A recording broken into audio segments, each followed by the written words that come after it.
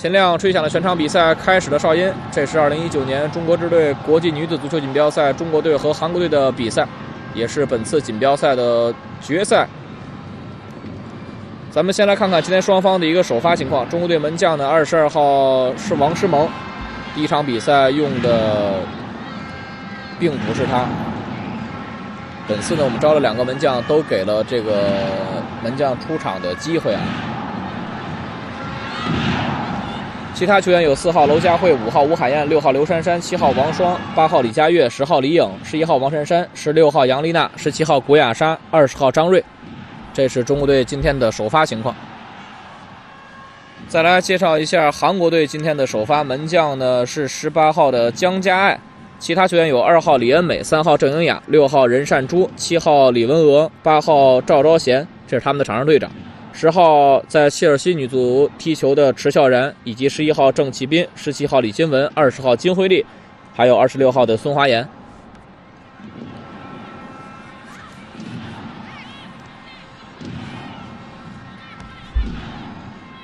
中国队呢，应该不出意外的话，还是会打一个四四二的阵型啊。第一场比赛呢，中国队上半场实际上打的不好，下半场比赛王霜登场之后，前场几个球员的位置兑换。整个我们前场的进攻模式发生了比较大的变化，也起到了很好的效果。那场比赛里边，李颖完成了梅开二度，而张睿在他的生日夜也有一个非常漂亮的进球。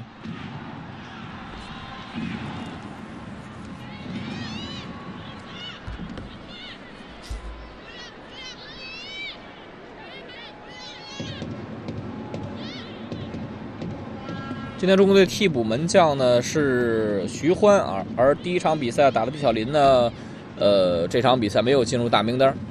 贾耀全最近的几次这个热身赛呢，还是给了这三名门将都有出场的机会。李佳悦这次球传大了，这场比赛开场之后节奏很快。韩国队和中国队目前在国际足联的排名里边呢，相差也不多。排在第十二和第十三的位置，而两队实力呢非常接近，都有旅欧的顶级球星。李文娥推过来，这次并不越位，传中打远点，这球直接出了底线。来自十一号的郑启斌，呃，他这个跑动能力很强，而且有速度。中国队今天在左路防他的是刘珊珊。这场比赛，我个人比较担心的还是门将这个位置啊。王诗萌虽然近几次呃都入选了贾耀全的国家队，但是出场时间相对来说偏少。这个级别的比赛他能否适应，其实要打一个问号。除了门将之外呢，场上另外十个人应该说是中国队目前最强阵了。有这次出球失误，对方抢断，再扣了一下，中国队是被迫犯规。刘珊珊犯规，给了韩国队一个位置很好的定位球，突破的是二十号的金惠丽。呃，刘珊珊这一下被对方扣球呢摆脱，然后脚下勾到了对方的脚。韩国队开场之后，这个进攻打得非常猛，比赛踢了四分钟，他们就获得了一个位置非常好的任意球的机会。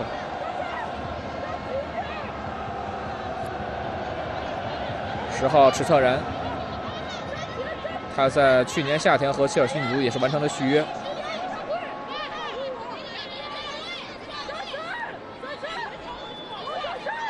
这个定位球的位置，看看中国队的防守怎么样。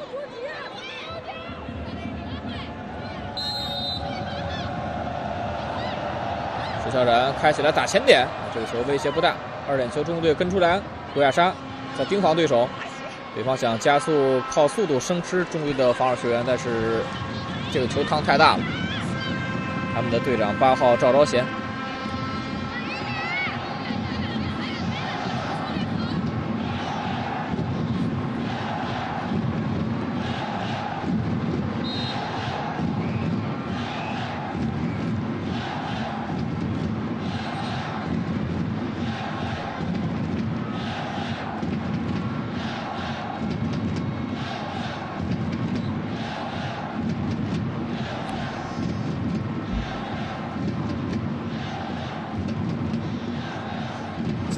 比赛呢，中国队实际上面对韩国这种踢法呢，应该说挺难受的。因为韩国队的开场之后，由于体能充沛，他们这个开局阶段这个跑动很多，进攻呢打得很简单，但是他两边冲击力很强，中国队现在防起来有些吃力，前锋队员呢也不断的回撤来保护防线。这场比赛开场前五分钟啊，中国队确实很难把皮球稳稳的控制下来，一直是韩国队在进攻，中国队拿球呢也是失误比较多。让李金文往中路转，李佳悦的上抢。今天两个中卫的出击时机选择都很合理。右边路没有打身后，球权还是韩国队的。杨丽娜，杨丽娜这个解围呢打在刘珊珊的身体上，弹出了边线，还是对方的球权。这个开局中队确实踢得比较被动啊。我们需要找一个机会呢，在进攻端给对方的防线带来一些麻烦，要不然的话，韩国队这么肆无忌惮的攻，中国队的防线很难保证不失球。好球啊，李文娥打了一身后，视野很开阔，又是这十一号郑启斌。郑启斌在往中路传的时候呢，是被李佳悦挡了一下。还是靠身体和速度摆脱。李佳悦把球，这刘珊珊把球踢出了边线。他这个点的个人能力非常强，非常强。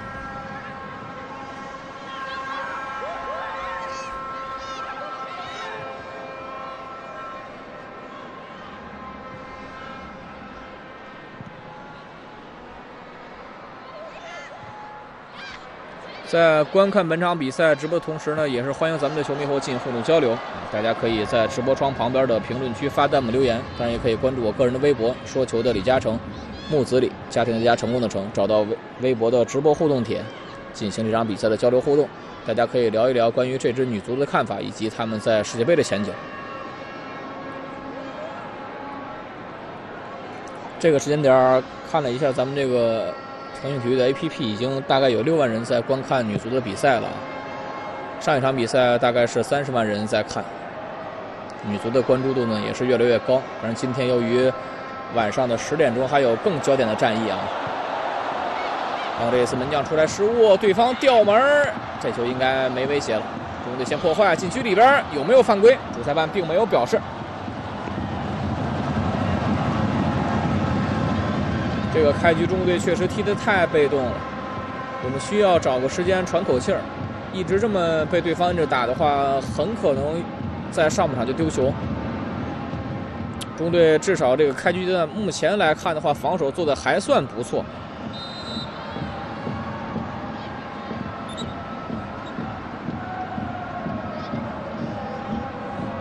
由于对方长时间的在中国队的半场来控制球权，现在王霜根本拿不到球。这次刘珊珊的回传失误，但是门将出击很果断，算是立了一功。今天刘珊珊在右路面对对方的冲击呢，确实显得有点慌。他这个郑启斌的个人能力太强了，他踢法很男性化啊。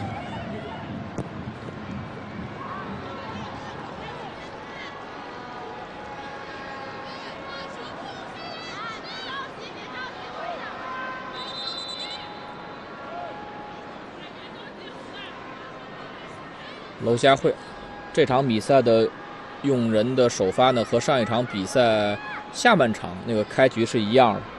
娄佳慧呢打右后卫，李颖呢踢右前卫，然后王珊珊和王双两个人呢是双前锋。但是这场比赛打到这个阶段来看的话，王双和王珊珊两个点根本拿不到球，因为中国队没球权。王双回撤，他回出来组织李颖，靠身体转身，这是个犯规。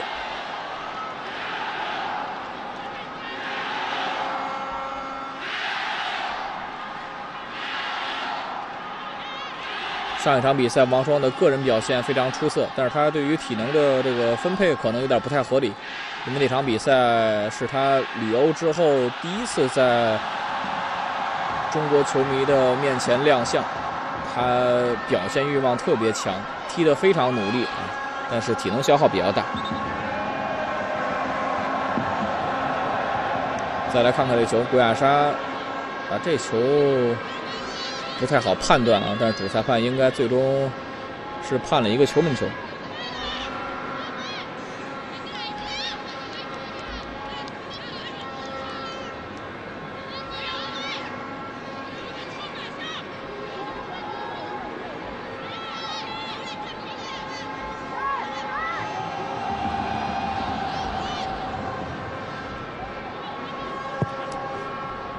尝试着开局这十分钟啊，中国队现在逐渐可以缓缓一缓了。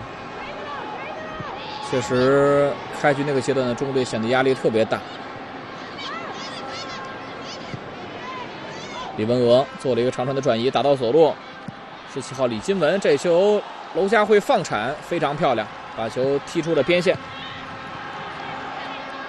他开场呢，还是通过李文娥和迟孝然这两个中场拿球之后的摆脱转移，然后打两个边路。右边路呢，十一号郑奇斌；左边路呢，十一十七号李新文。这两个点的单点能力非常强。但中国队现在整体防线的移动，包括距离感保持的很好，互相之间的补位呢做的也很很到位。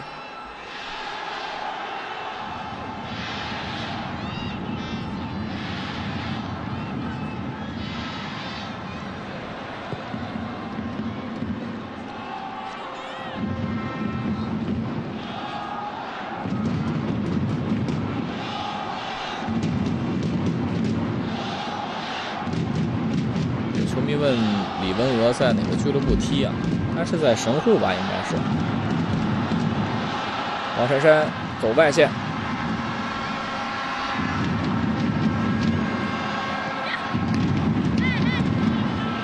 神户女子足球队叫神户雄狮，应该是。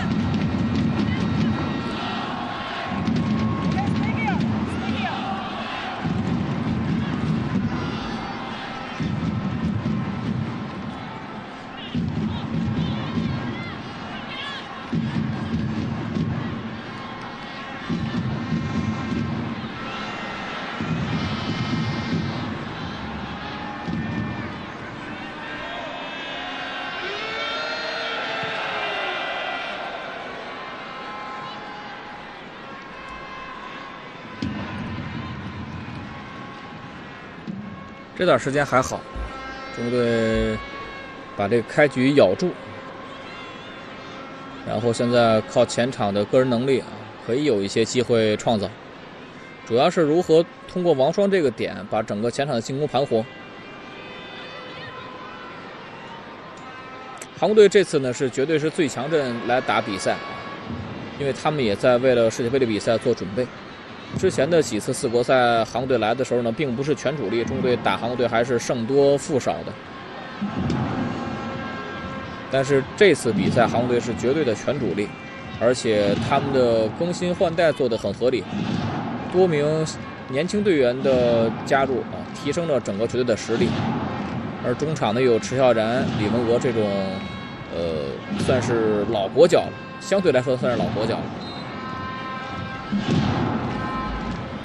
而中国队这些年经历了换帅啊，里约奥运会之后，我们换了两个教练员，呃，这对于中国队整个构架磨合来说，实际上影响是比较大的。我们在整个阵容方面也有着比较大的调整。这次打身后，古亚莎，古亚莎先把先把球拿好，走外线，帮助中国队赢得角球。古亚莎的速度还是有优势的。而且这一次身体利用也很合理，他把对方扛在内线，自己往边路突破，然后下底之后，对方只能把球捅出底线，中队获得了一个角球。在这种局面下，定位球的机会就显得弥足珍贵了。再来看看啊，李佳悦送身后，这个球呢，对方的三号郑英雅拖在防线最后边，郭亚莎是并不越位的。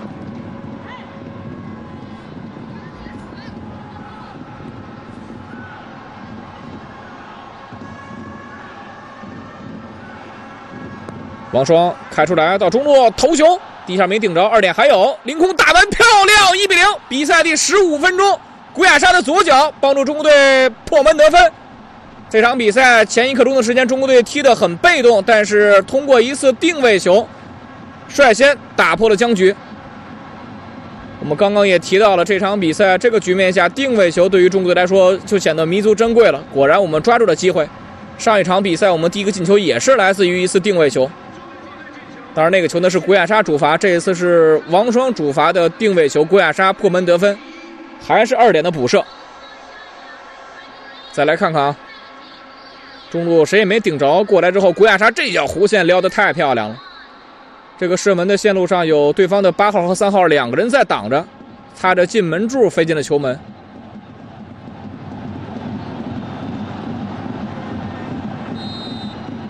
王霜的助攻，古亚沙的劲射得分。这和第一场比赛我们那个进球的过程有点相似，但是那个球呢是一个定位球，二点的补射，张睿打进的。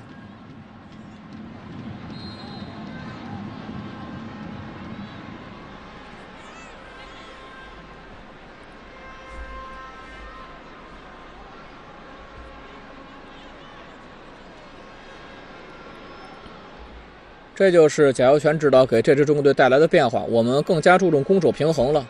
之前的西格就不说了，布鲁诺比尼呢肯定是更加注重进攻以及地面的传控。我们那个时期呢，防守相对来说是我们的薄弱点。贾耀全上任之后呢，更加注重攻守平衡。在这种被动的局面之下，我们靠定位球能够得分，这也算是一种能力上的提升。毕竟我们在世界杯的赛场要面对很多的世界顶尖强敌。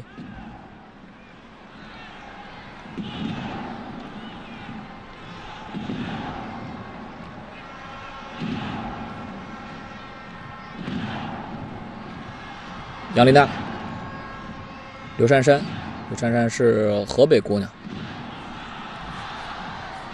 她一直是国家队的主力啊。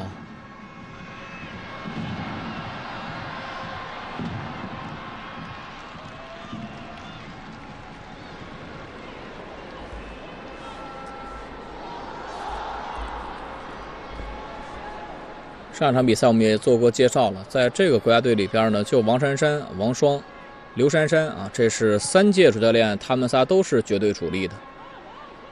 其他的队员有的呃，包括张睿啊，这四个是。其他队员呢，有的第一期布鲁诺比尼像招李颖的次数就很少。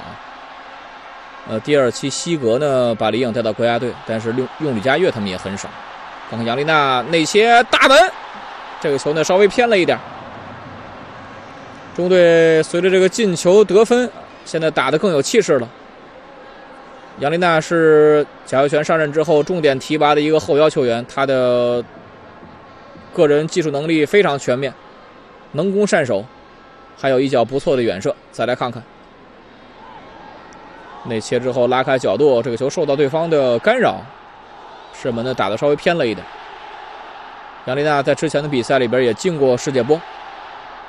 中队的后腰呢，这几年啊，这个远射能力一直是有保障，包括之前的谭瑞英和任桂新，这是布鲁诺比尼时期两个主力后腰，都有很强的远射得分能力。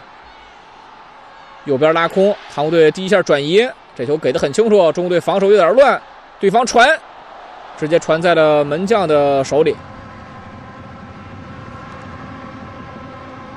今天王诗萌的发挥非常出色啊！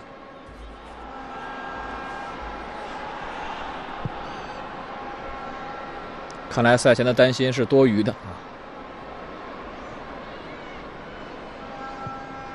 因为最近看的比赛呢，这个门将失误太多了。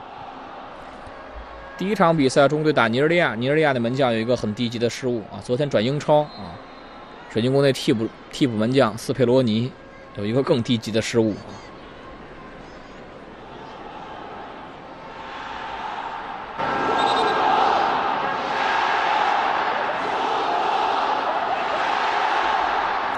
首发门将王诗萌呢，打过零八年的世青赛，零九年的亚青赛都参加了。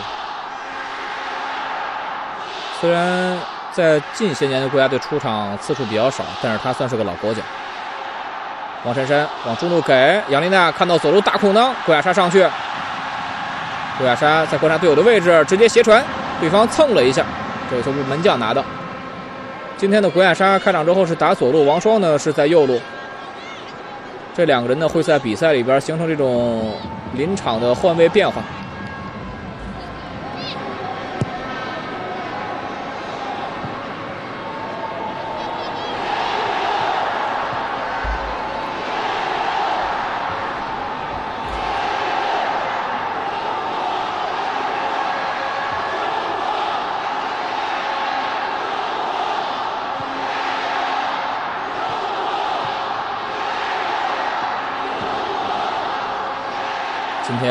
现场非常巨大的助威声。每当有中国队的比赛，听到现场的球迷如此呐喊高歌啊，真的是让人起一身鸡皮疙瘩。当然，配上赢球是最好的。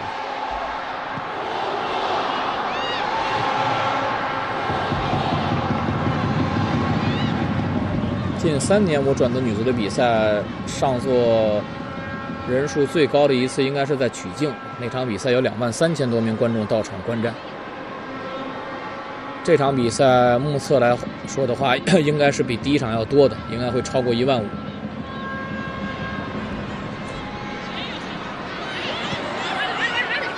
这个在早些年女足的赛场很难想象。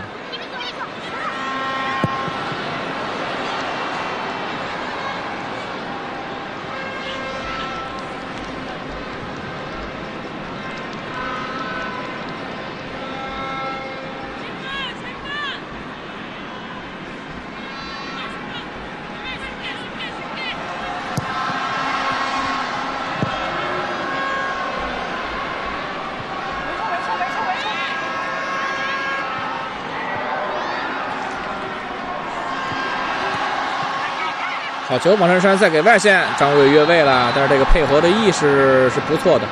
中队边路一个二打三，找到了对方身后的空当。这个球呢，王珊珊转身耗时比较长，传出来的时机有点晚。再来看看啊，他第一下没给，顿了一下之后呢，张睿确实越位。这个球如果传跑默契的话，中路是个二对二的局面，这个进攻就很有威胁了。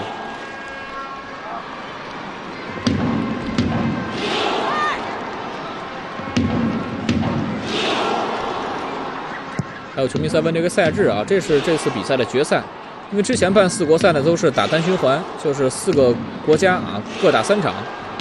因为这次呢，回足联的一个要求，变成了这个淘汰制，也就是四个队呢，第一场比赛就是这个淘汰赛，赢两个胜者呢去打决赛，两个负者是打三四名，和中国杯的这个赛制是一样的。刘珊珊之前也打过右后卫，他是左右全能。布鲁诺比尼时期呢，他打右后卫，薛娇打左后卫。后来呢，他就被放到左后卫的位置。因为薛娇受伤之后呢，逐渐淡出国家队视野，这左后卫实在找不到太合适的人选，就一直是刘珊珊在打。他的左右脚能力非常均衡。又是角球，还是七号王霜来主罚。目前效力于巴黎圣日耳曼，左脚开启了打前点，古亚莎，古亚莎头球又顶到了。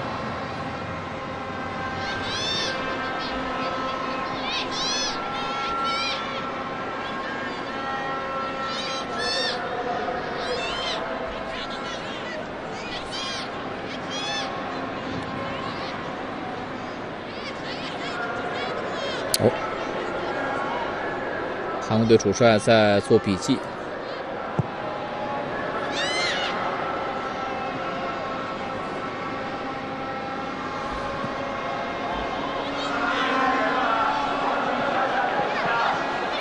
这次突破，李文娥。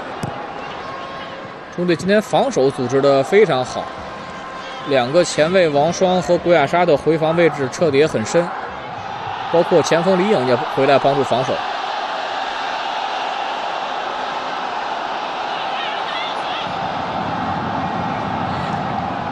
中队真是渐入佳境啊！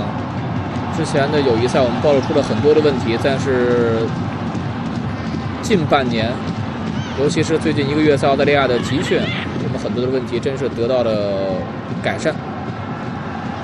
王霜的回传，亚丽娜破坏，李颖想往中路给王霜没传过去，韩国队边路进攻，这球没有犯规吗？秦亮今天的尺度相对来说比较松，李文娥。李佳悦，这是吴海燕解围，打在对方的腿上，弹出底线，中队球门球。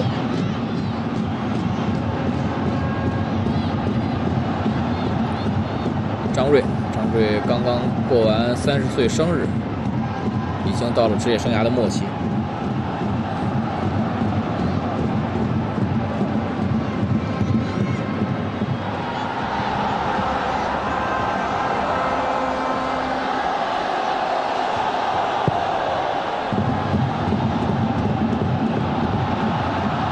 拼速度，又是古亚莎。今天古亚莎的状态非常好，去逼迫对方的二十号。中队前场抢断，刘珊珊拉边，古亚莎第一下没传，再打身后。这球传的大了，再抢，这是个角球啊！对方好像碰了一下吧。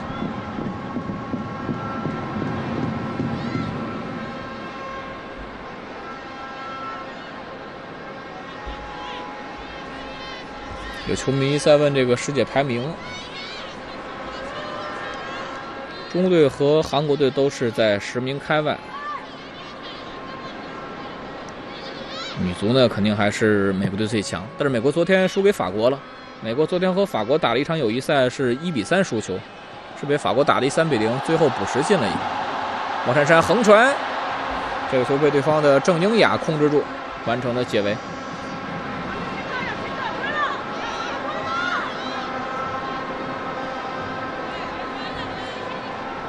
李颖的冲击力非常强，王珊珊的速度，中国队的前场几个人特点都很鲜明。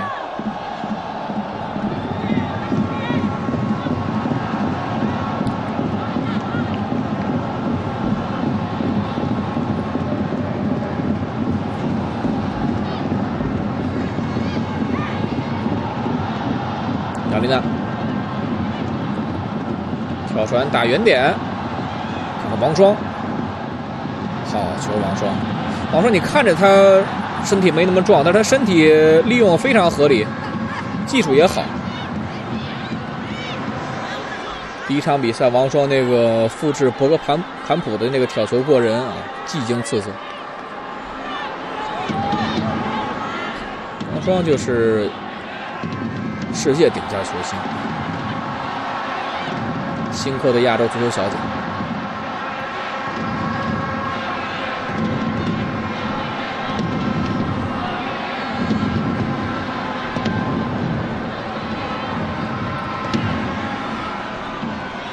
赛踢了快半个小时了，比分目前依然是零比一。中国队依靠郭亚莎的进球，暂时领先着韩国队。王珊珊挑过来，王霜，好球，王霜，自己盘带摆脱两个人，还在带球，转身自己打。王霜的个人能力确实很强，对方根本防不住他。这一次三个人过来防守王霜，还是让王霜射门了。再来看看啊，两个人一个放铲没铲掉，王双带再给身体，王双转身，四个人防。到这个区域呢，韩国队也不敢再下脚了，不敢在这个位置给中国队任意球。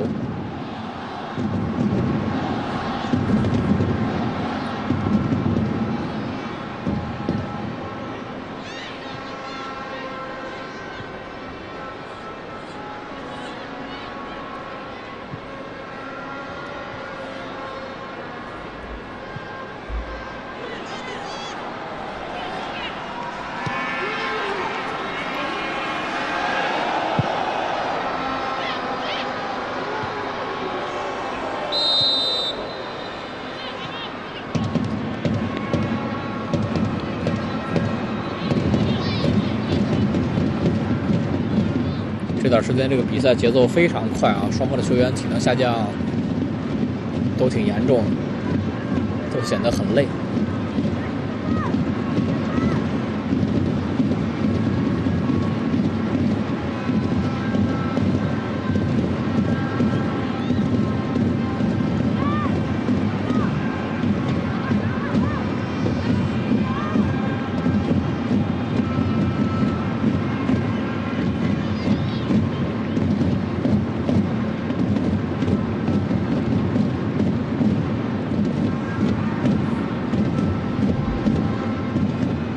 赛直播，还是欢迎咱们的球迷和我进行互动交流。大家可以关注我的微博“说球的李嘉诚”，木子李，家庭的家，成功的成，找到微博置顶帖留言，进行这场比赛的交流互动。可以聊一聊关于这支女足的看法，以及我们在世界杯赛场的一个前景。因为我们的世界杯呢是分到了死亡之组，首先要保证的是小组出线。昨天我也看了西班牙的一场热身赛啊，西班牙女足和比利时女足是打成了一比一。呃，那个队呢不是没有弱点的，像疯子贝尔萨一样把对方研究透，中国队打西班牙，我觉得还是可以一战的。而德国队呢，相对来说就比较强，但也不是完全没得踢。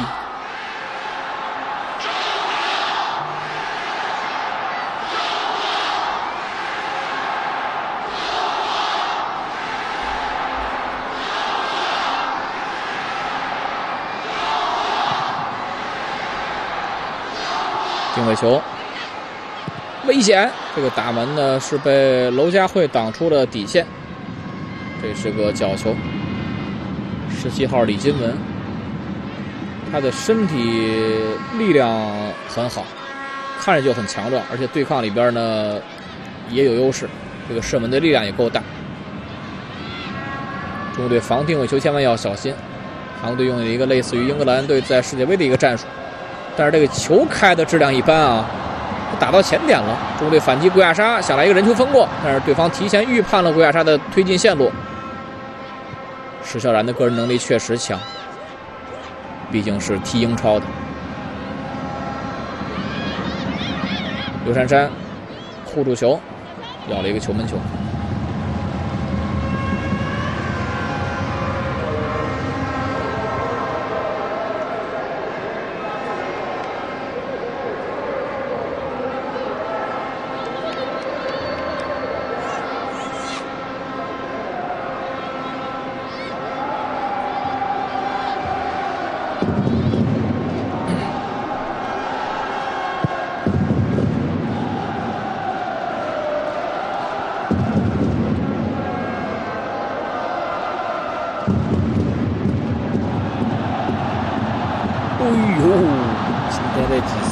这样的球啊，都太危险了。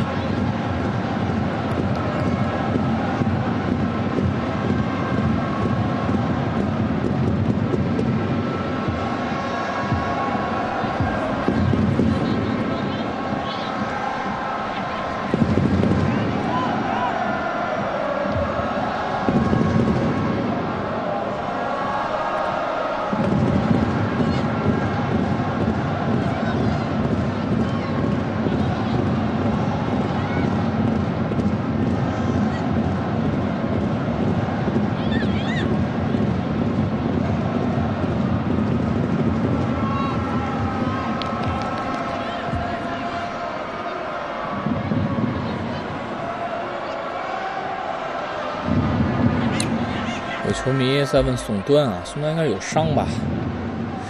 呃，他今年应该是大概在二月底三月份复出。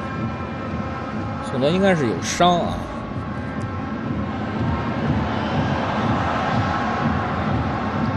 我之前看是谁发微博说宋端这伤啊？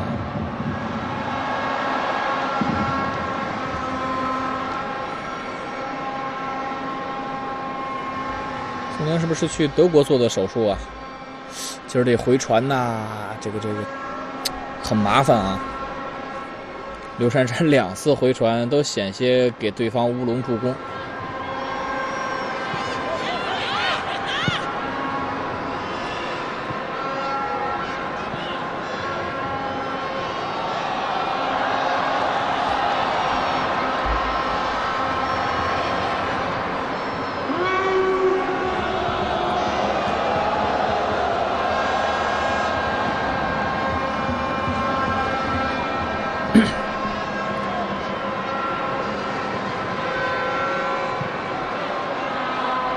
王珊珊，对方这个中卫一直在跟着他，他在中线拿球，这中卫也跟出来，他确实拿球的压力非常大。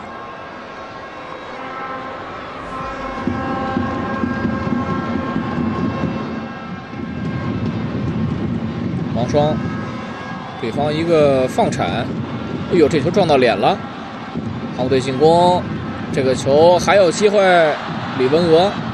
盖的多了一下，被李佳悦捅掉，这个球被门将拿到。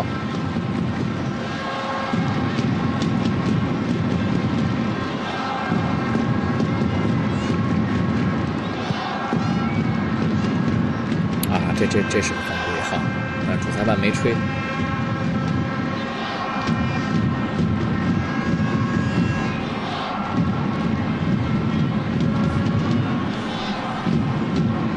上比赛还有十分钟左右的时间，中队依然是一比零领先着韩国队。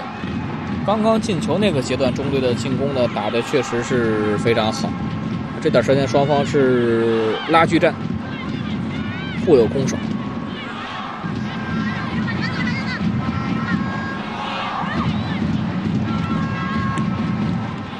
张睿领的不错，对方补过来，张睿把球拿到，还有机会。前场抢对手，韩国队出球很困难，这是个拉人犯规，但是进攻有力，韩国队反击，池孝然，池孝然第一下没敢往左路分啊，因为刘珊珊的位置选得很好，在扑他这个传球的线路，他只能把这个节奏放慢。中国队这次防守的落位很及时，退防速度很快。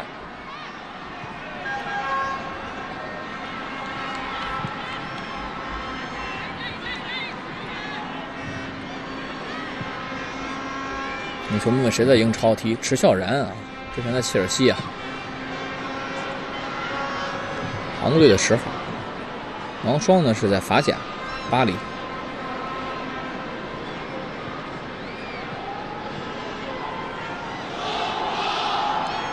李佳悦，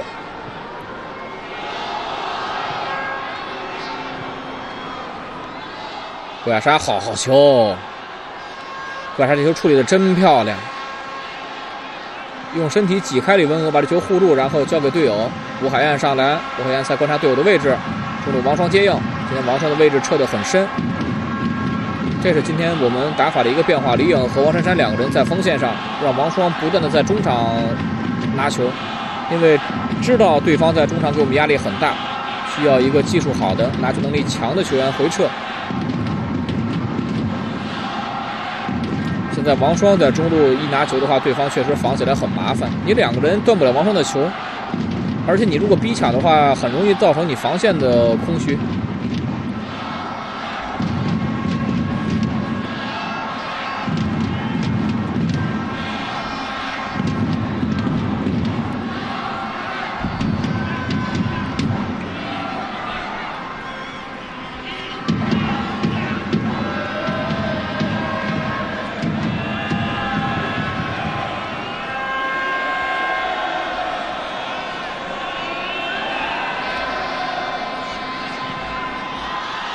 咱们世界排名啊？中国队目前是排在，先看这个机会，中国队目前排在第十五，韩国队是第十四，积分呢就差了九分。第一呢是美国队，美国队是两千一百二十三个国际积分，德国队呢是第二，法国第三，英格兰第四。我们前年。和英格兰、意大利打的时候呢，也不吃亏。当然，人家来的并不是主力啊。我们赢过英格兰，平过意大利的。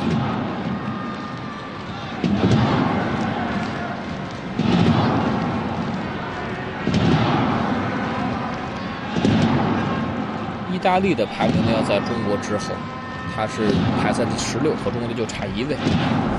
而英格兰这两年的这个进步呢是比较快的。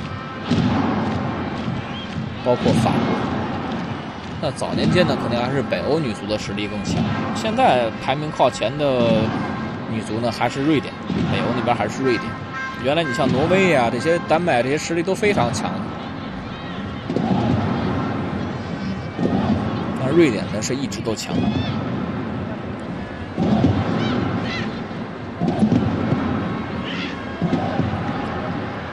上半场比赛还有五分钟。双，古，亚莎，现在郭亚莎状态真好。郭亚莎这几年一直保持着非常高的这个竞技水准和状态。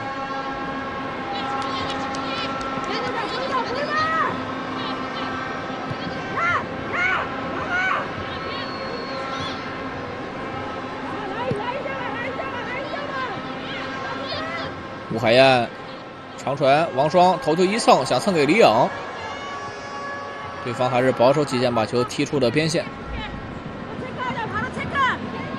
中队进攻端的还是要想办法让王双在对方的禁区附近拿球，这样的话才会更有威胁。娄佳慧，这也是前锋改打右后卫，包括贾耀全之前用这个赵荣去打中锋啊，这都是起到了奇效。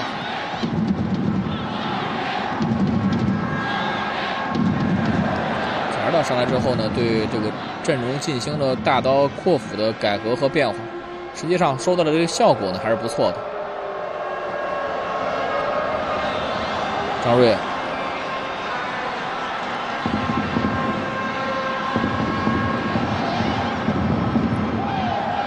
杀，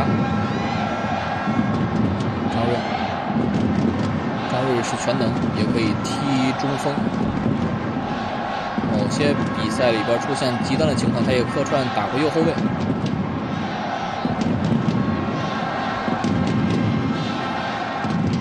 杨丽娜，杨丽娜确实非常出色，他这长传真的是给的非常准，对方门将和后卫呼应失误。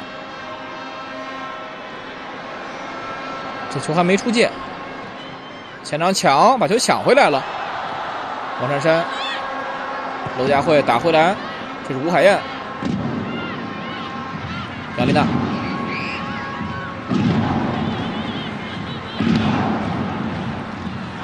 夏月交给了刘珊珊，这次回传没有问题。好球！杨丽娜再打一个长传，这个球是越位了。李颖启动快了，但是杨丽娜这个传球，刚刚我也介绍了，她非常准，她的视野和大局观也非常棒。怎么形容呢？她是我觉得是谭瑞英和任桂欣两个人的结合体啊，大概类似于这样的一个特点：有身体，有力量，能打远射，而且这个长传球非常好。大局观非常棒，韩国队进攻传起来后点，这球直接出了底线。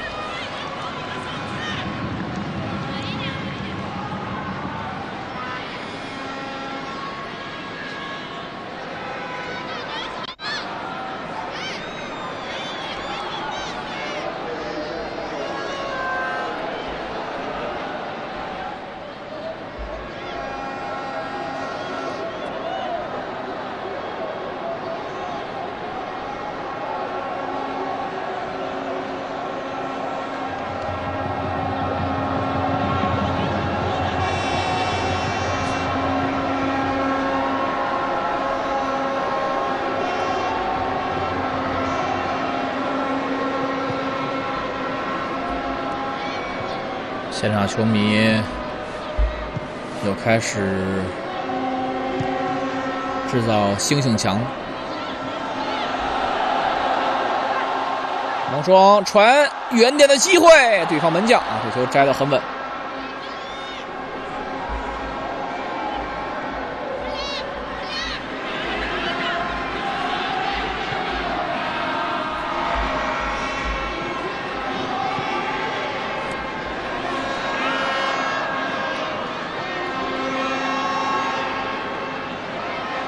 珊珊，王双接应，好的，看王双怎么来发展，往中间传，这球被对方六号碰了一下，因为左边队友始终没上来，杨丽娜补位意识非常好。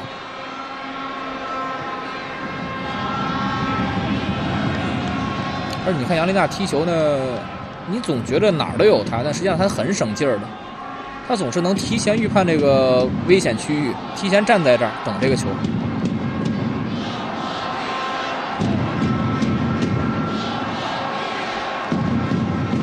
上半场比赛一分钟的补时啊！今天第四官员米思雨，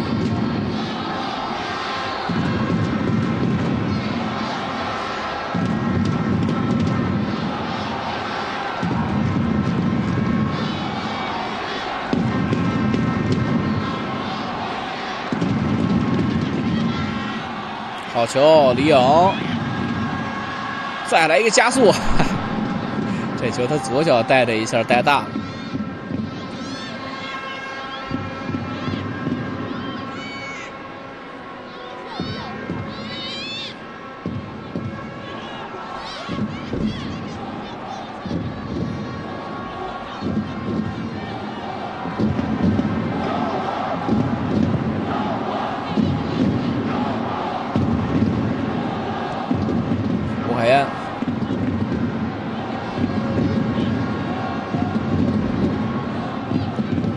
来一脚后跟，这是个节奏变化，好球！这样的话，上半场比赛结束，中国队依靠一次角球进攻，郭亚莎在第十五分钟左脚弧线球兜射近角得分。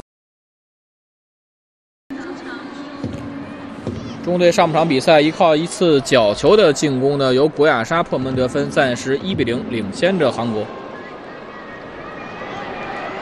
看看下半场比赛双方这个调整的效果怎么样？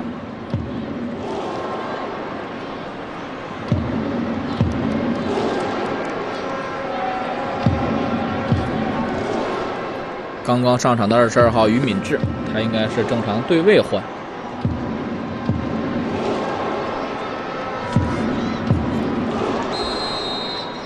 秦亮吹响了下半场比赛开始的哨音，双方一边再战。两队在中场过后呢，都是做了换人的调整。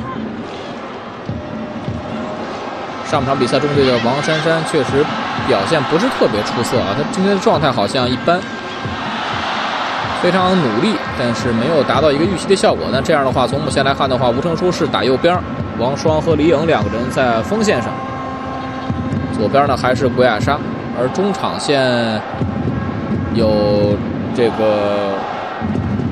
姚丽娜，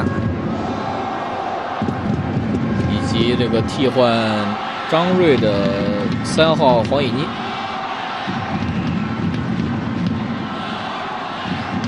黄以妮呢，之前的比赛替补登场的次数也很多，在中国队的这个出场机会呢，还是不少。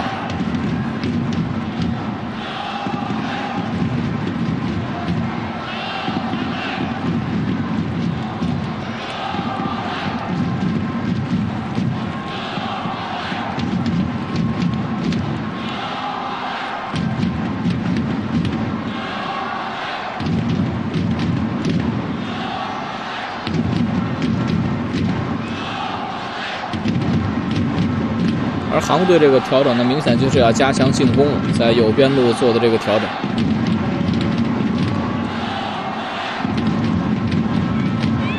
郭亚莎今天是打左路，他是左右两个边都可以踢的。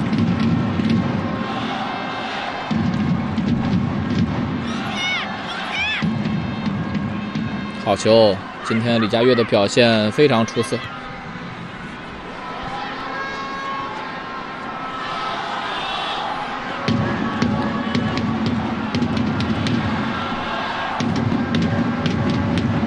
反向，好球！今天两个中卫的位置选择很好，李佳悦把球破坏掉。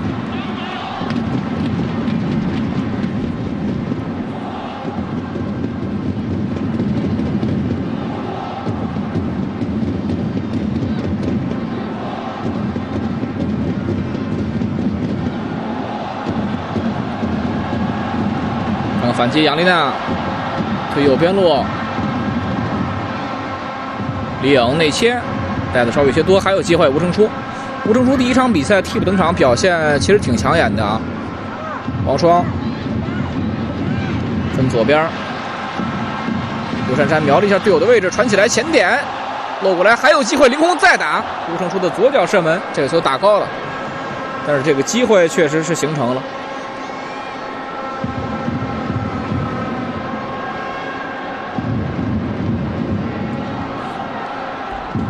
珊珊今天上半场比赛两次回传出现了问题，但是他的进攻对中国队的帮助还是比较大的。这个球呢，吴成书赶上左脚了，没有打好。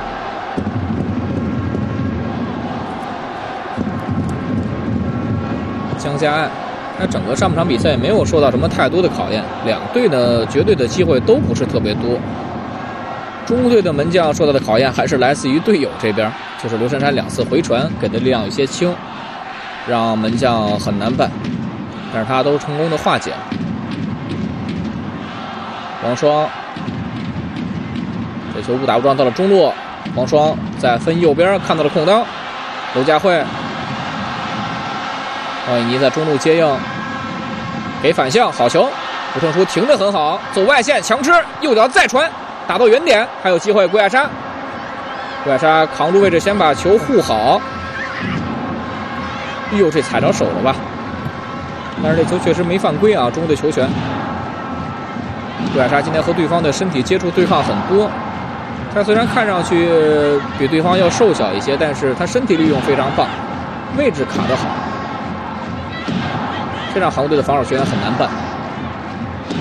中国队前场接外球，刘珊珊给郭亚莎，想交王双，王霜第一下启动慢了，韩国队被迫一个大脚，好球！今天李佳悦的表现太出色了，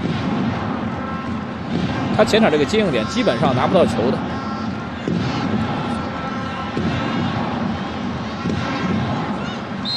这是个犯规，杨明亚推人。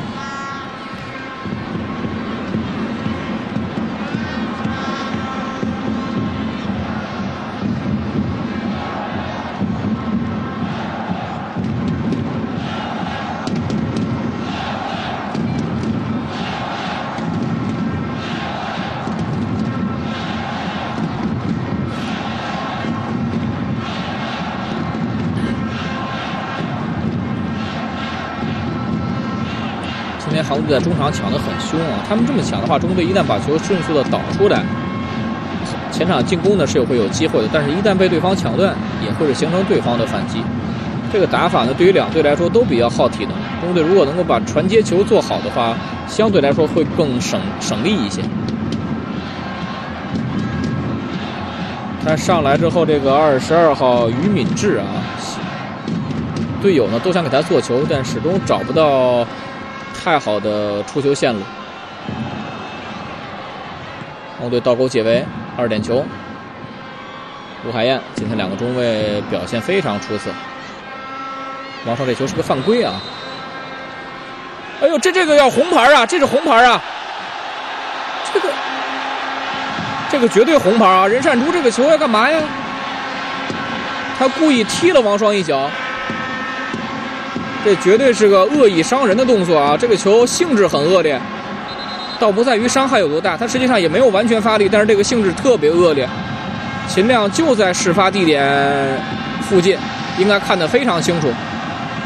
王霜情绪控制得很好，这个球他为什么要踢王霜呢？这就是红牌。我觉得这个黄牌就太轻了呀，还给了李颖一张黄牌。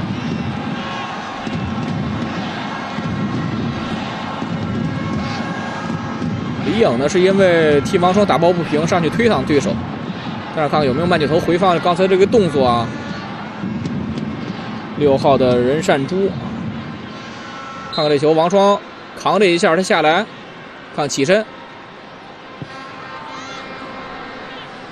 故意顶王双啊。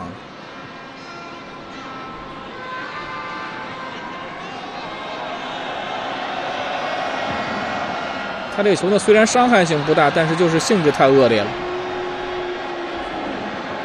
王双的情绪控制的非常好。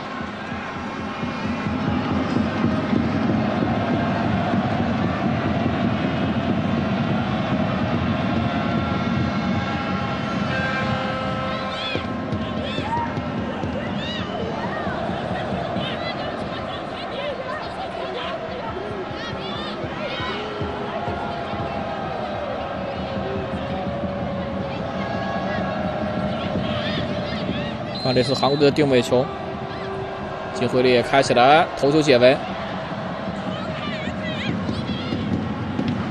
右脚扣着一下，石小然左脚再兜到原点，这是个机会，还是一点球被中国队抢到，跟进赶紧破坏，刘珊珊，中队反击，李颖头球顶给王霜，这是个机会，右边拉空，李颖横转漂亮，这视野很开阔，吴成书先把球拿好，王霜在中路要球。娄佳慧套边，吴成书内切，哎呀，这球处理球慢了呀，这球处理慢了。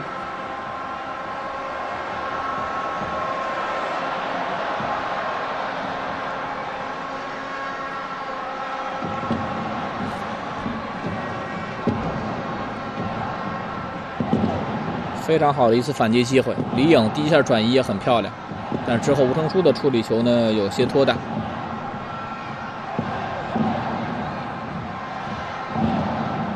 海燕，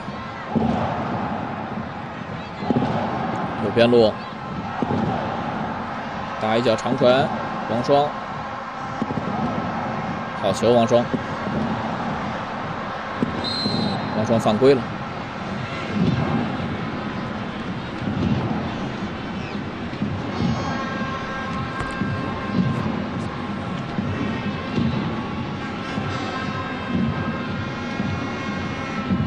确实踢到人。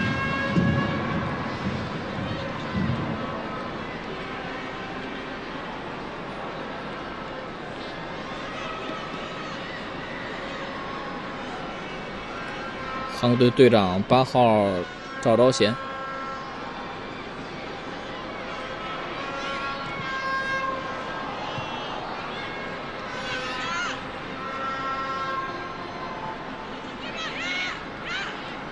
进外球。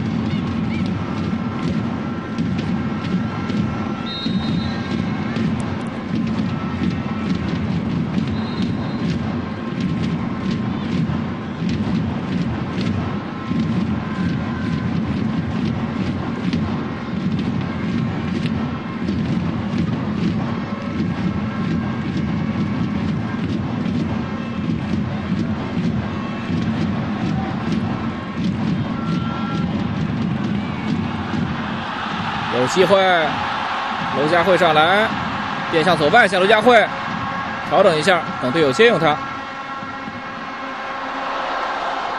再传起来。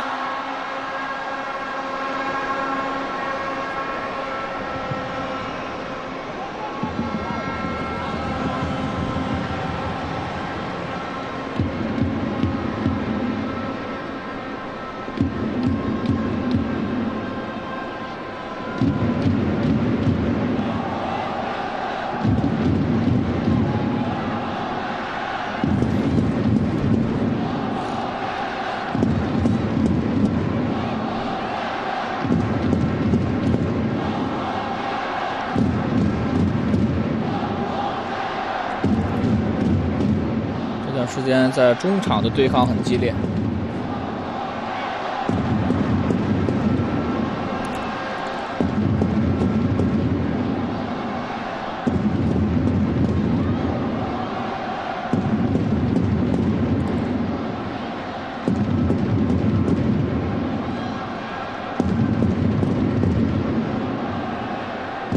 红队边路进攻。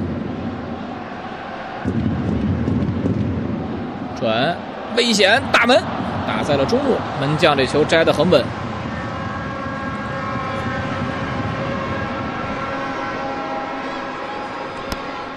二十二号下半场替补登场的于敏智的射门，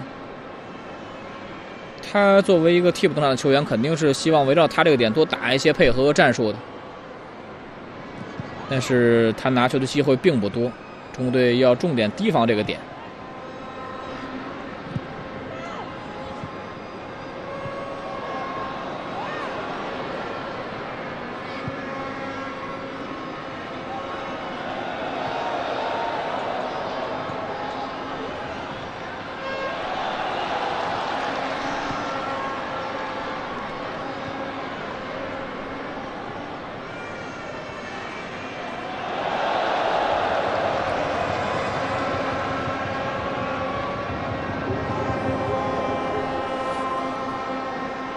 赛打了快一个小时的时间了，还是零比一。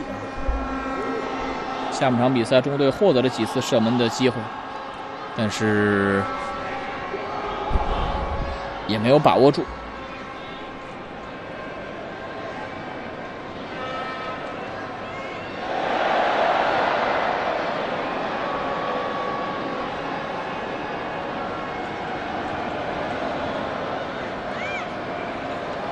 王霜。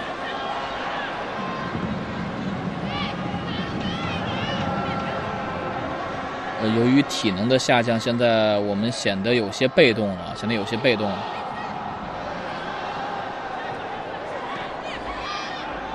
如何把这个局面稳住啊？这回一比零真是不保险呐。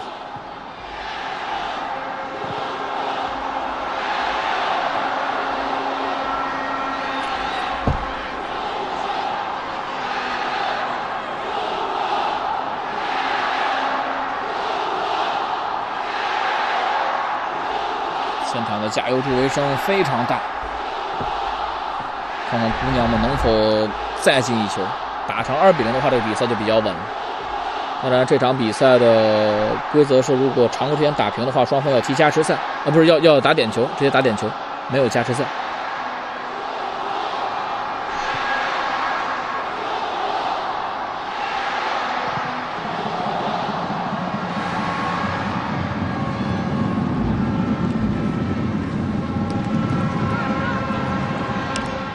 世界杯的比赛呢，是和南非队、德国队以及西班牙队分在了死亡之组，就是世界杯的最死亡小组。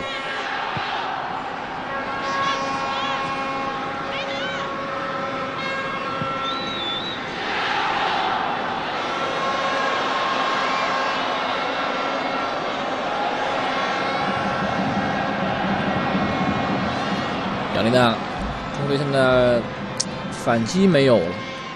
整个阵型被压的比较靠后，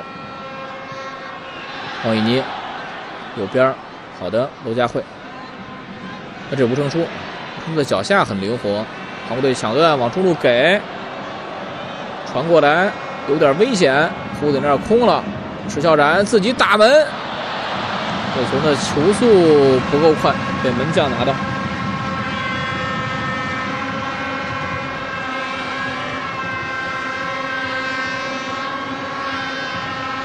这点事儿好，确实于敏智踢的不错。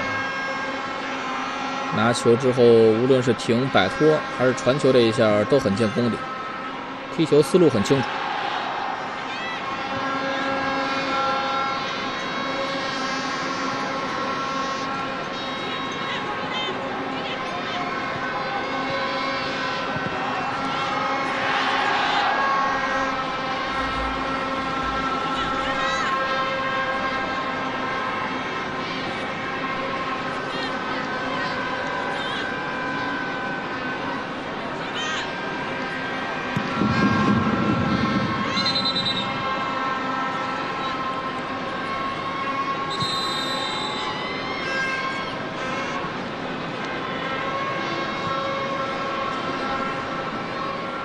队要继续换人，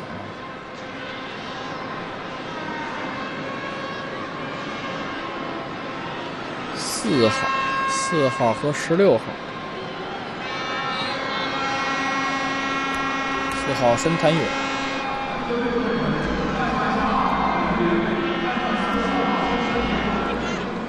换下的是二号李恩美。先看豪队的进攻，中国队娄家辉过去补这个位置。后边接应，脚跟传有点危险。好的，吴海燕。那韩国队十六号张色奇也上。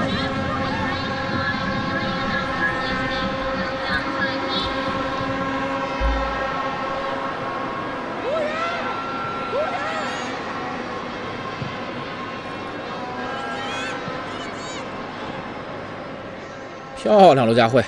但是这球停，被对方抢回来。奥伊尼把球踢出了边线。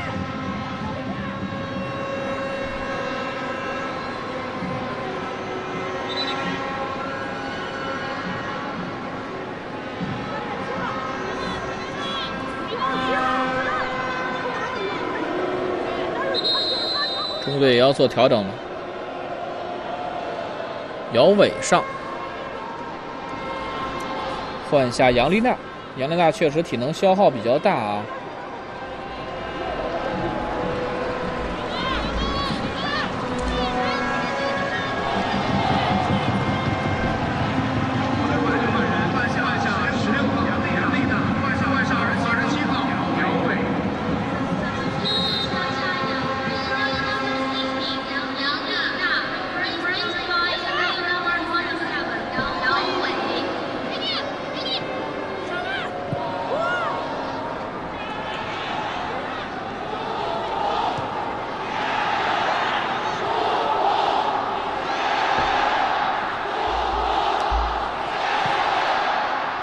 一六年就进入国家队，参加了奥运选拔赛。这段时间中国队有点被动啊。刘珊珊把球拿好，坏出了边线。现在问题很明显，就是没有反击。韩国队现在是搏命打法，前场投入的兵力很多。中队如果能够前场保留两个点的话，能够有反击的机会，还是这个比赛有可能再进球的。但是现在王双也不断的频繁的回撤，去保护防线，这就很麻烦。这场比赛王双的体能消耗也很大。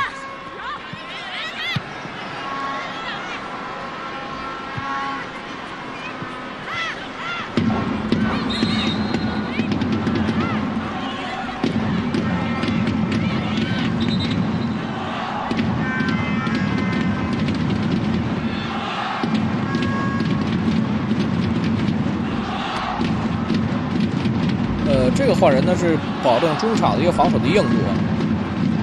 现在是不是考虑在前场换上速度更快、体能更充沛的球员呢？今天李颖的消耗也很大的。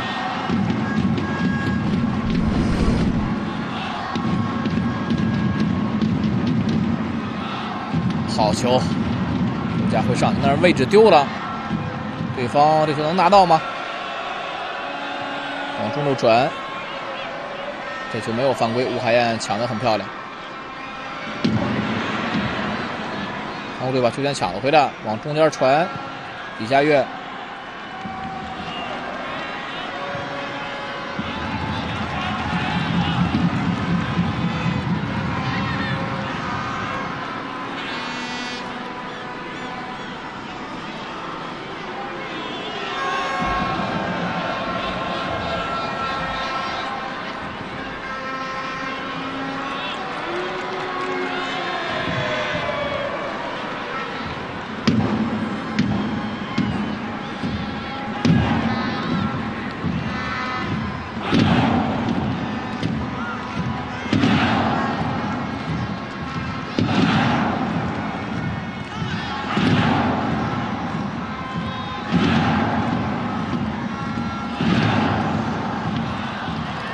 小心，这个位置千万不能丢球。好的，王霜带一步分到右边路。吴成说，吴成说那突破的成功率比较低，但是这次球没丢。娄佳慧上来，靠速度走外线，然后转移打远点。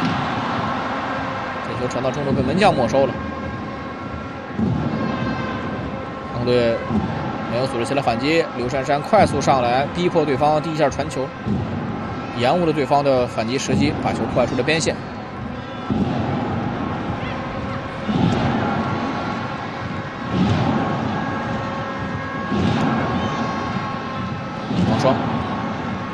有，李颖就想来一个挑球过人，没成功。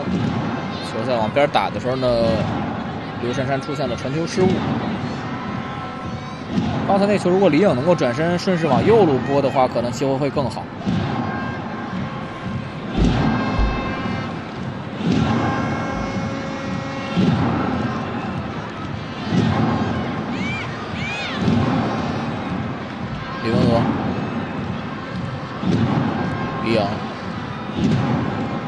这体能下降，韩国队的中场的失误也比较多。但是这一次摆脱了池耀然，分到左边。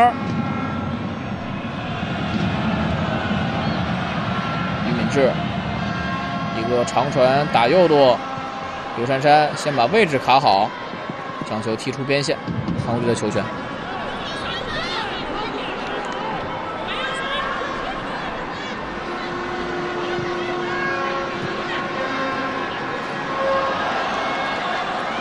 接李颖，自己带球，赢得了一个界外球。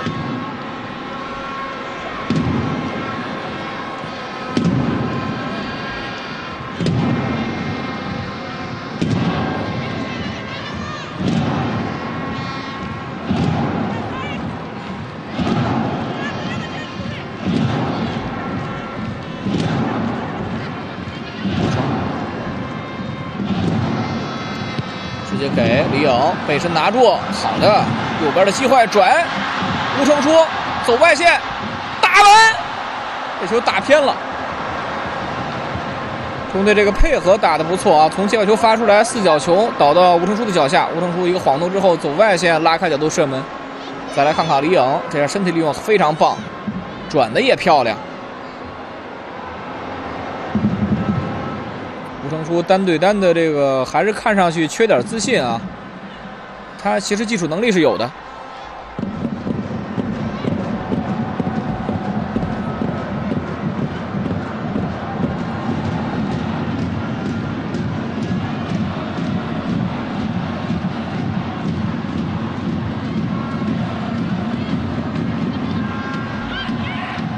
杜亚莎，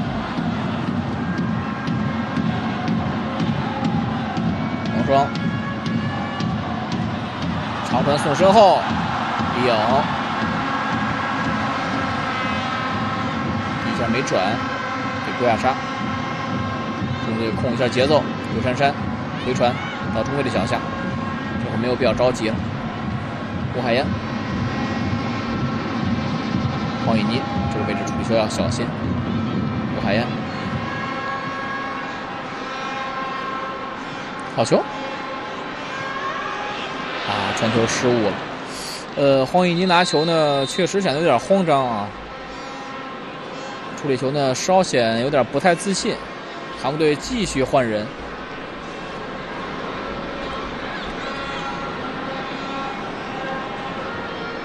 九号田加尔。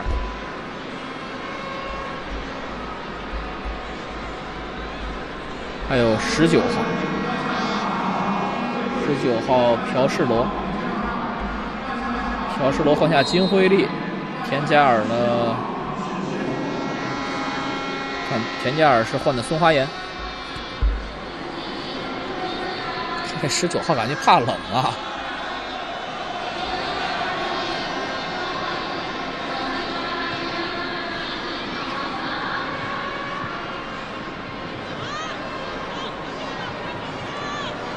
十九号跑的挺快的啊，他打右后卫，这是那十九号，上来的真快，但是传球失误了，中队反击李颖，对方拉人地下没拉住，好的，李颖还在带，再分左边，传到了王双的身后，王双拼命去追这个球没追上，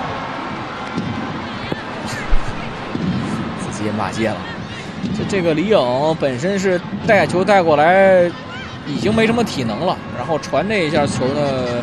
力量稍微给大了一些，当然这也是和王双没有配合好，他传的线路和王双跑的线路不太一样。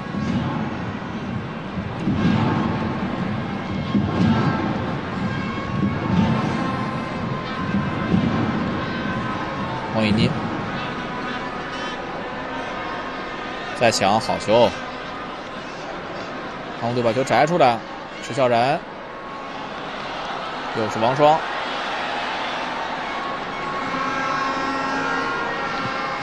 漂亮，这是姚伟分得清楚。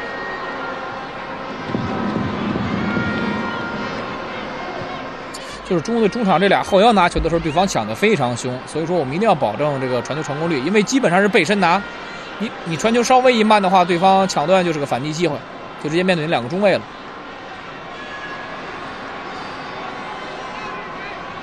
一定要减少失误，比赛时间是越来越少。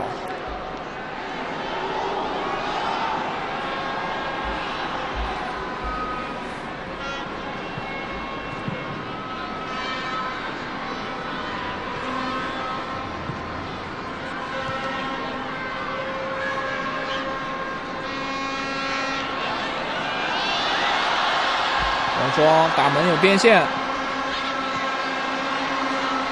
再往中间传，李颖拉脚弧线漂亮！哎呀，对方这门将，哇，这个球杀死比赛的机会被十八号的江佳爱扑出了底线，中队获得角球。这球李颖搓的太精彩了，但是被对方的门将拒之门外。这球眼看就要进了，对方门将指尖摸了一下，把球打出了底线。非常好的扩大比分的机会。这次门将立下一功。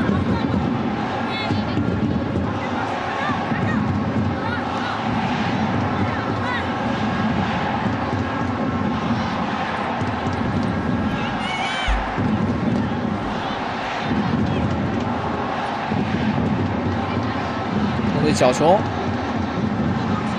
双，左脚这个点罚的不错。一点被对方解围，二点球还有，再传传呲了，姚伟，哎呀，不能失误啊！韩国队反击，要逼迫他的持球点，刘珊珊过来，这球不行就犯规啊！十九号拉边往中间打，没传好，左路拉空，好的，娄佳慧。这就是我刚才讲的，千万不能在中路失误，千万不能在中路失误。韩国队由于体能下降，这个反击也没有组织好。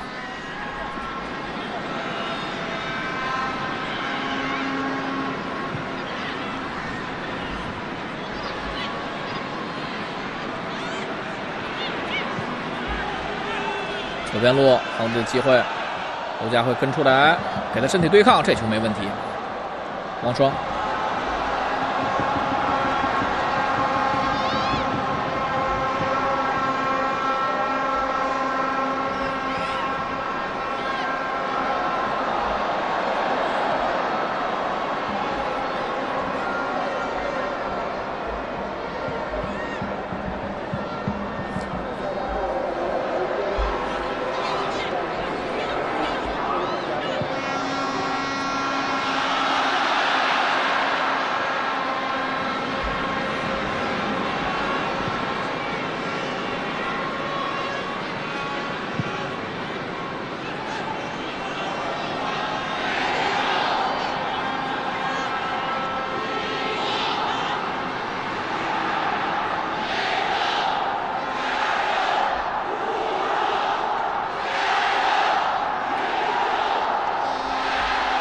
还有十几分钟的时间。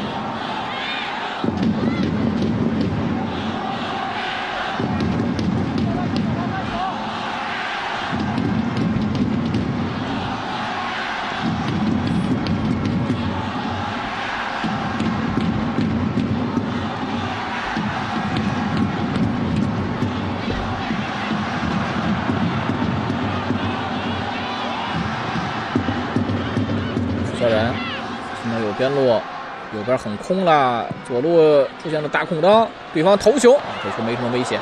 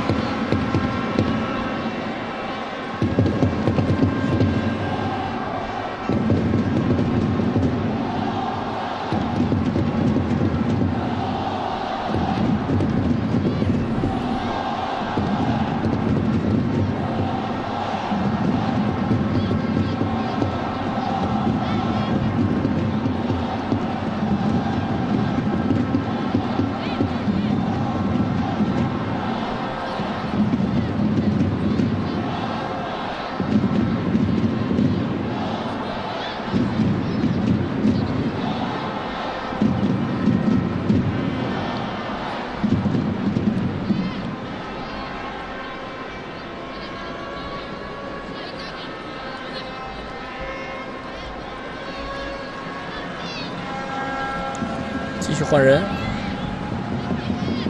小雨也准备上，呃，前边呢还是要留一个反击速度。呃，娄佳慧如果下场的话，把吴成初撤回来。这是韩国队的头球，没什么威胁。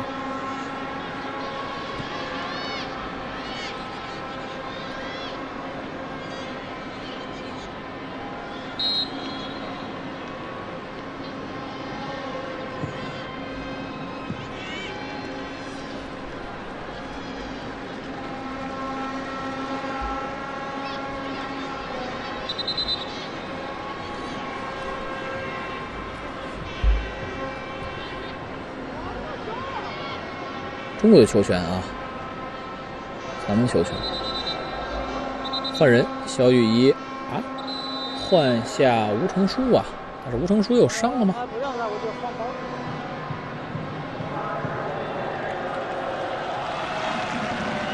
吴成书被换下，他是换上又被换下的，还是要保留反击的速度。吴成书其实踢的还可以啊。就是几次机会，有一次机会没把握住，几次单对单过人的没成功，但是没有什么严重失误，很努力的。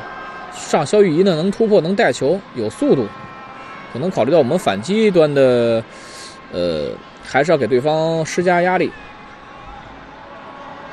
这段时间，杭队体能下降也比较快。好球，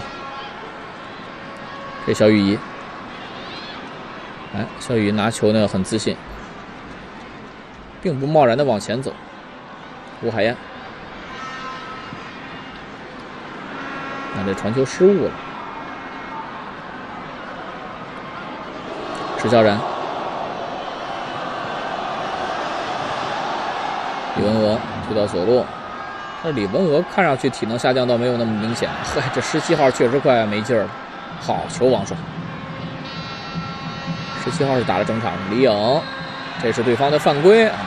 李颖帮助中国队赢得定位球，那这样的话，再可以把这个节奏放慢一点。李颖今天非常努力，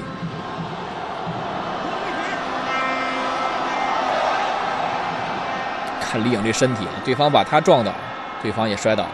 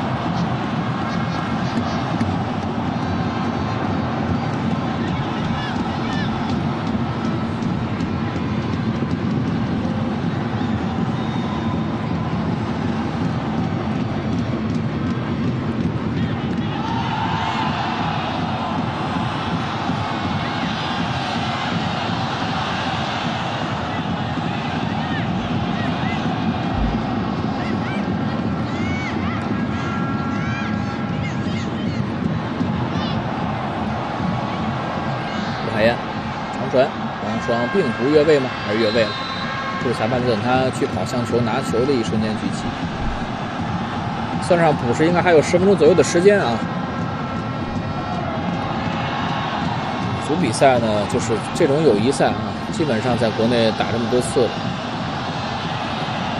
就是有没有伤啊，或者说有没有致伤事件呢？这基本上三分补时不会给太多的。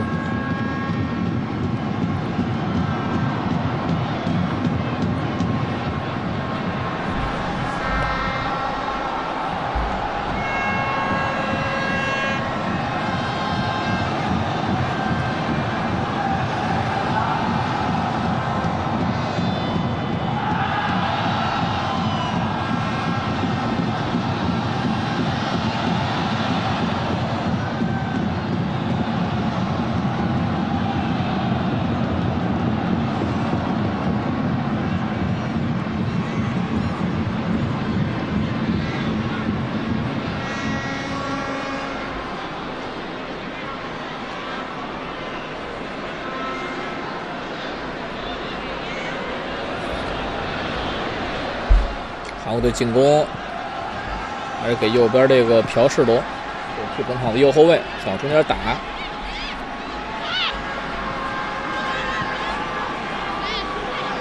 朴世龙传起来，李佳悦头球解围，李颖回来防守，球权还是韩国队的。李文娥那边有一个抽筋的，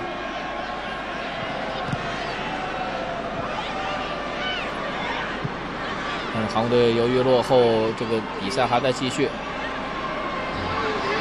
连续两个扣球，好的，李佳悦，这上抢真漂亮。王霜突他这个左后卫。他抽筋了，王霜往左边带，没有去右路。顾亚莎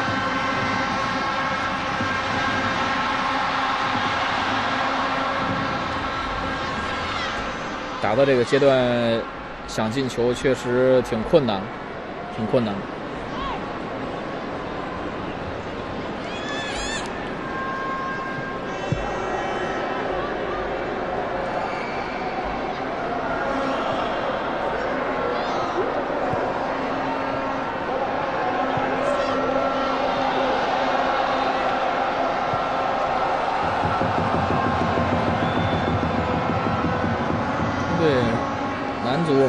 发出了吗？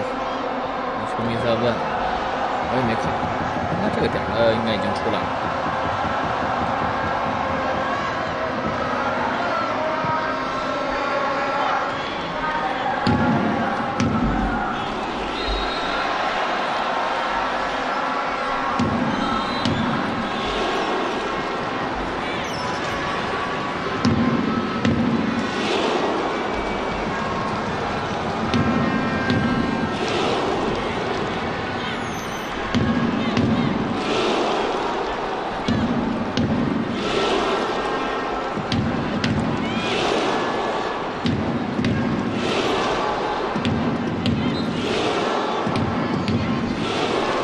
换人，十号池孝然被换下，换上了二十四号，四号叫张勇。换了六个人啊，五个人，六个人，六个换人，这是最后一个换人。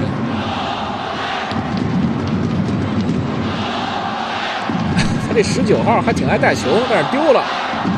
小雨怡。没有必要着急，把这个节奏稳住。朱亚莎回传，打身后王霜，王霜越位了。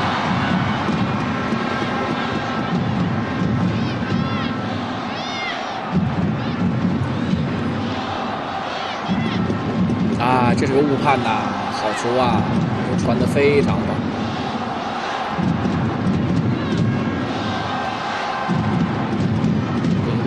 看的话，王霜拿着球有可能就直接摆脱他奔禁区里边了。头球顶下来，又是高空球，还是中队球权。肖玉怡有速度，从右边，对方把球踢出边线。这会儿没有必要着急，没有必要着急，把这个节奏压住。中队换人，中队换人，应该分着换的。方杰、刘慧婷上，十八号方杰，二十一号刘慧婷。啊，刘慧婷呢，正常也是打边打右后卫，他第一场比赛首发。换刘佳慧应该还在啊？换刘佳慧呢？杜亚莎被换下，进球功臣。李颖被换下，方杰上。王霜，啊，要界外球。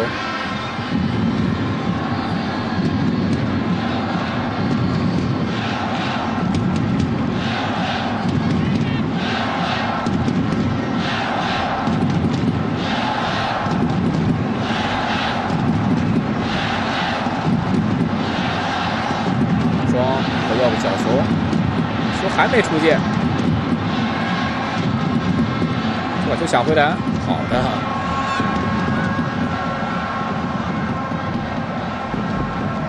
在进入常规时间最后四十秒，中间这不能丢球啊！横转一个，选择最稳的方式。刘珊珊别急，哎呀，这太吓人了！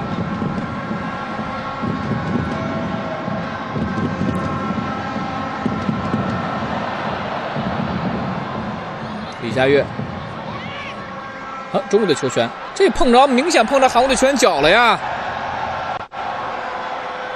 这明显碰到于敏智的脚出的边线，这是个误判。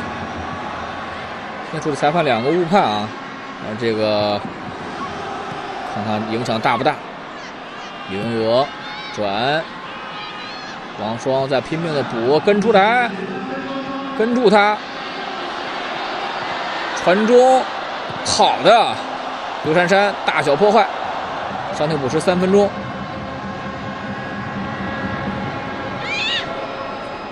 好球，刘慧婷再给。方杰交给刘慧婷转出来，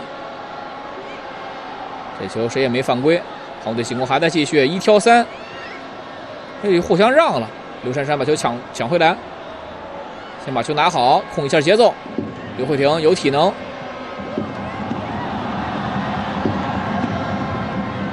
逼迫他回传守门员，伤停补时已经过去了快一分钟的时间了，黄队只能开大脚。他这十九号朴世罗啊，踢球呢，呃，很从容。这中国队球权。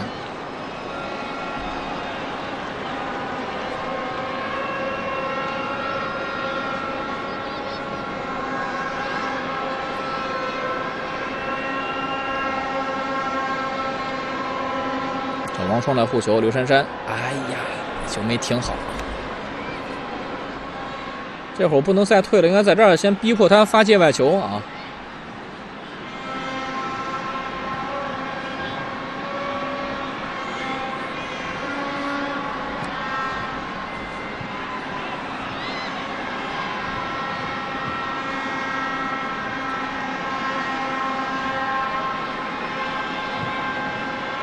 长传，两个人配合没打好，中间这位置是中国队的。海燕一个大脚开出来，一点球下来，王一妮传球又失误了，边上拉空，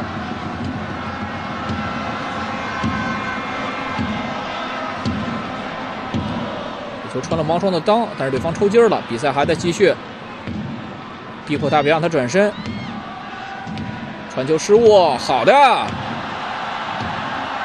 王双没有必要着急呀。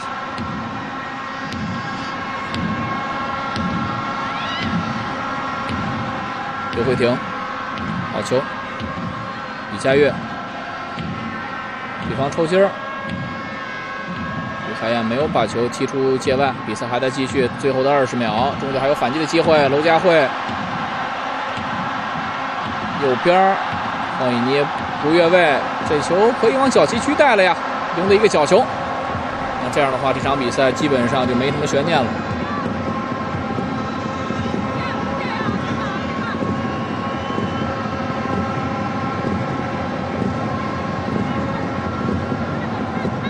拼到了抽筋儿，韩国队这场比赛踢得也很努力，门前机会也有，但是没有把握住。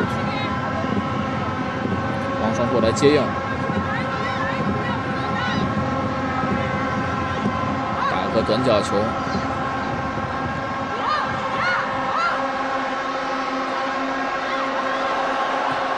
手球。秦亮吹响了全场比赛结束的哨音，中国队是依靠古雅莎在上半场比赛第十五分钟的左脚弧线球得分，一比零击败了韩国，获得了这次四国赛的冠军。比赛结束，最终结果是韩国。中队这两场比赛展现出的非常强的意志品质。这。